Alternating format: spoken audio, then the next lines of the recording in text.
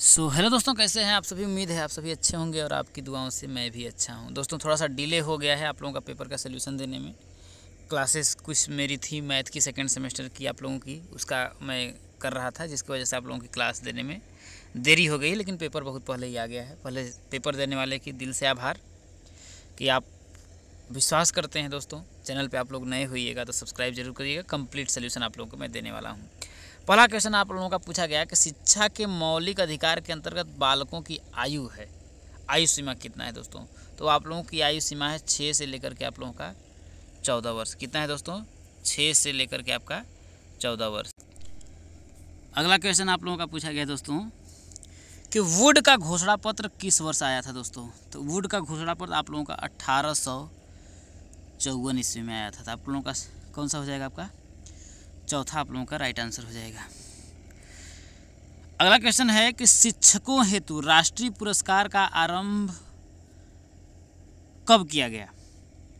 तो शिक्षकों हेतु राष्ट्रीय पुरस्कार का प्रारंभ दोस्तों 1958 में किया गया। तो आप लोगों का राइट आंसर इसका चला जाएगा आपका पहले पर। किस पे चला जाएगा दोस्तों? सन उन्नीस ईस्वी में किया गया।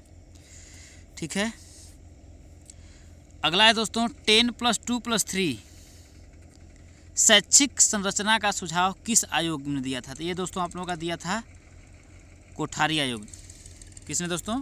कोठारी कमीशन या कोठारी आयोग ने दिया था दोस्तों। अगला है कि प्रोफेसर यशपाल समिति का गठन भारत सरकार द्वारा किया गया दोस्तों। तो भारत सरकार द्वारा दोस्तों 92 में किया गया था तो आप लोगों का राइट आंसर पहले पर हो जाएगा 92 अगला दोस्तों, क्या है आपका? कि बीईपी e क्या है दोस्तों? तो बेसिक एजुकेशन पॉलिसी बोल सकते हैं तो आप लोगों का क्या हो जाएगा? बेसिक शिक्षा परियोजना दोस्तों। चलिए आगे बढ़ते हैं। दोस्तों चैनल पर नए होइएगा सब्सक्राइब ज़रूर करिएगा। आप लोगों के लिए हम लोग मेहनत करते रहते हैं। देखिए, इसमें क्लियर आप लोगों का दिख नहीं रहा है। प्रश्न आपको पूछा गया है, कस्तूरबा गांधी विद्यालय योजना का प्रारंभ कब किया गया, हुआ था दोस्तों? तो कस्तूरबा गांधी दोस्तों तो इसका जो आप लोगों का राइट आंसर होगा दोस्तों, इसमें है उच्च प्राथमिक बालिका शिक्षा से है। क्या दोस्तों? उच्च प्राथमिक बालिका शिक्षा से आप लोगों का संबंध है दोस्तों। अगला आप लोगों का है देखिए, मैं दूसरा पेपर लेता हूँ दोस्तों, एक और पेपर है, फिर मैं आपको सॉल्यूशन देता हूँ। चलिए दोस्तों, अब आप लोगों को क्लियर दिख रहा होगा। देखिए, उसे दिख नहीं रहा कस्तूरबा गांधी विद्यालय योजना का संबंध है। तो इसका आप लोगों का राइट आंसर उच्च प्राथमिक बालिका शिक्षा से है। इसका आप लोगों का राइट आंसर हो जाएगा। अगला है आपका, देखिए, कि डी पी ई पी कार्यक्रम की शुरुआत कब हुई दोस्तों? तो D E D P E P जो दोस्तों कार्यक्रम की शुरुआत 1994 में हुई थी। तो इसका राइट आंसर आप लोगों का तीसरा पे हो जाएगा। अगला है दोस्तों एन का मुख्यालय। तो इसका जो मुख्यालय है दोस्तों, आप लोगों का राइट आंसर चला जाएगा तीसरे पर आप लोगों का न्यू दिल्ली नई दिल्ली में है दोस्तों। अगला है कि राष्ट्रीय शिक्षा आयोग के अध्यक्ष। क्या दोस्तों? कि राष्ट्रीय शिक्षा आयोग के अध्यक्ष कौन थे दोस्तों? तो आपका डॉक्टर दौलत सिंह कोठारी। क्या दोस्तों?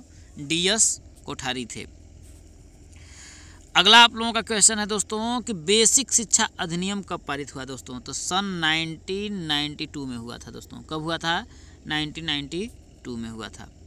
अगला क्वेश्चन है, बच्चों के लिए निःशुल्क एवं अनिवार्य शिक्षा का प्रावधान संविधान की किस धारा में है? तो धारा आप लोगों का पैंतालीस है दोस्तों। कौन सा है? धारा आप लोगों का पैंतालीस। अगला दोस्तों, स्कूल चलो अभियान अंग है दोस्तों। तो ये आप लोगों का सर्व शिक्षा अभियान। क्या दोस्तों? सर्व शिक्षा अभियान का अंग है दोस्तों। अगला है आपका दोस्तों कि भारतीय विश्वविद्यालय आयोग का गठन। भारतीय विश्वविद्यालय आयोग का गठन दोस्तों किया गया तो सन 1902 ईस्वी में हुआ था। कब दोस्तों? सन 1902 ईस्वी में हुआ था। अगला आप लोगों का है कि लॉर्ड मैकाले को भारत कब भेजा गया दोस्तों? तो लॉर्ड जो मैकाले हैं, भारत अट्ठारह ईस्वी में आए थे। कब दोस्तों? अट्ठारह ईस्वी में आए थे तो इसका राइट आंसर आप लोगों का दोस्तों अट्ठारह हो जाएगा। अब अगला आप लोगों का जो क्वेश्चन है दोस्तों, अति लघु उत्तरी प्रश्न पूछा गया कि महिला समख्या कार्यक्रम क्या है दोस्तों? तो महिला समख्या कार्यक्रम दोस्तों, ग्रामीण जो क्षेत्र होता है खासकर जो सामाजिक और आर्थिक रूप से पिछड़े समूह की जो महिलाएँ होती हैं, उनकी शिक्षा तथा सशक्तिकरण के लिए इसका शुरुआत हुआ था दोस्तों। तो महिला समख्या कार्यक्रम क्या होगा दोस्तों? कि ग्रामीण क्षेत्र में खासकर सामाजिक और आर्थिक रूप से पिछड़ी समूह की महिलाओं की शिक्षा और सशक्तिकरण के लिए इसका शुरुआत किया गया है दोस्तों। अगला क्वेश्चन आप लोगों का पूछा गया कि ऑपरेशन ब्लैक बोर्ड की दो विशेषताएँ बताइए दोस्तों। ठीक है? तो ऑपरेशन ब्लैक बोर्ड की दो विशेषताएँ ये है दोस्तों कि विद्यालय और कक्षा कक्ष को क्या आकर्षक बनाना दोस्तों? विद्यालय और कक्षा कक्ष को कैसा आकर्षक बनाना? दूसरा दोस्तों, बाल केंद्रित जो क्रियाकलाप, जैसे अगर कोई भी शिक्षा हो, वो क्या हो? बाल केंद्रित हो। बाल केंद्रित दोस्तों, क्रियाकलाप जो हो, आधारित शिक्षण अधिगम हो दोस्तों। ये इसका है दोस्तों। अगला आपका क्वेश्चन एन कार्यक्रम का मुख्य उद्देश्य बताइए। तो दोस्तों, इसका जो मुख्य उद्देश्य है, चौदह साल के जितने भी बच्चे हैं, उनको मुफ़्त और अनिवार्य शिक्षा दिया जाए। ये है दोस्तों। अगला है दोस्तों कि शिक्षा में अवरोधन किसे कहते हैं दोस्तों? अगर कोई भी देखिए, शिक्षा में अवरोधन का मतलब है कि कोई भी बच्चा जो है, जैसे कि एक में पढ़ रहा है, ठीक है? वो अगले साल उसको दो में जाना चाहिए, फिर भी वो दो में नहीं गया। एक में ही रह गया। तो वो क्या होगा? अवरोधन शिक्षा हो गया। कहने का मतलब दोस्तों, कोई भी बच्चा है, एक वर्ष से अधिक एक ही कक्षा में रह रहा है।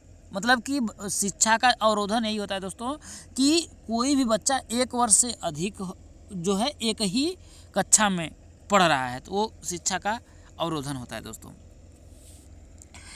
अगला क्वेश्चन है, दोस्तों, आप लोगों का कि कोठारी आयोग की नियुक्ति का मुख्य उद्देश्य बताइए दोस्तों। तो दोस्तों, कोठारी आयोग की मतलब की नियुक्ति का जो मुख्य उद्देश्य है दोस्तों, कि शिक्षा प्रणाली की जो गुणवत्ता है। क्या दोस्तों? कि शिक्षा जो आप लोगों की प्रणाली है, उसकी जो गुणवत्ता है, ठीक है? उसको सुधार हो तो भारत सरकार को क्या हो?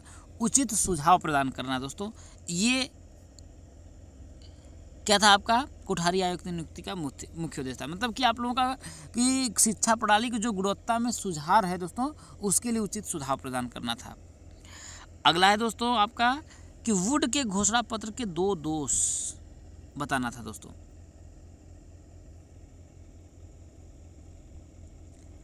तो दोस्तों अब बोल सकते हैं, देखिए कि वुड का घोषणा पत्र का जो दो दोष दोस्तों तो पहला जो आपका इसका जो दोस्तों दोष अगर हम बोलें तो इसमें ये था कि जो शिक्षा का क्षेत्र था दोस्तों, क्या शिक्षा का जो क्षेत्र था, वो सरकार और नौकरशाही के अधिपत्य में चला गया था। पहला दोस्त था। दूसरा था दोस्तों, उच्च एवं जो प्राथमिक शिक्षा है उसको अंग्रेज़ी के माध्यम से बनाकर उसे जन प्रचलित करने से दोस्तों उसको रोक दिया गया था। तो यही इसका दोस्तों दोष है। अगला दोस्तों, न्यूनतम अधिगम स्तर से आप क्या समझते हैं दोस्तों? तो दोस्तों, न्यूनतम अधिगम स्तर दोस्तों। तो आप बोल सकते हैं, देखिए न्यूनतम अधिकार अधिगम दोस्तों, कि यह एक ऐसी प्रक्रिया है जिसमें यह निर्धारित किया जाता है कि बच्चे को किसी निश्चित स्तर पर कम से कम कितना सीखना है। वो आप लोगों का न्यूनतम अधिगम स्तर होता है दोस्तों। न्यूनतम अधिगम स्तर का मतलब होता है, देखिए न्यूनतम अधिगम, कम से कम उसको कितना सीखना है। तो दोस्तों, यह क्या होता है, न्यूनतम अधिगम स्तर पर यह एक प्रकार की एक प्रक्रिया है जिसमें यह निर्धारित किया जाता है दोस्तों कि बच्चे को किसी निश्चित स्तर पर कम से कम कितना सीखना है? मतलब कि कम कम से कम। क्या दोस्तों, कम से कम वह कितना कितना सीख रहा है? ये चीज़ है। ठीक है दोस्तों? अगला है कि एनसीएफ 2005 के निर्माण हेतु गठित राष्ट्रीय संचालन समिति के अध्यक्ष कौन थे दोस्तों? तो प्रोफेसर यशपाल थे। कौन सा दोस्तों? प्रोफेसर आप लोगों के यशपाल थे। चलिए दोस्तों, आगे बढ़ते हैं। अगला है स्कूल रेडीनेस कार्यक्रम। क्या दोस्तों, स्कूल रेडीनेस कार्यक्रम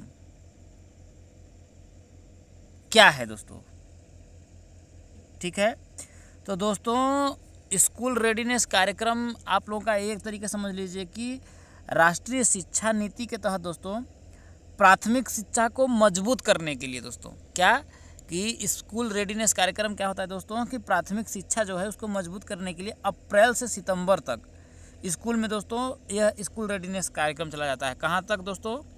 अप्रैल से लेकर के सितंबर तक यह कार्यक्रम चलाता है, चलाया जाता है प्रारंभिक शिक्षा को मज़बूत करने के लिए दोस्तों।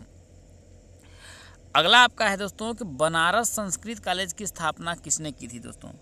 तो दोस्तों, जोनाथन डंकन ने किया था दोस्तों। किसने? जोनाथन डंकन ने दोस्तों। ठीक है?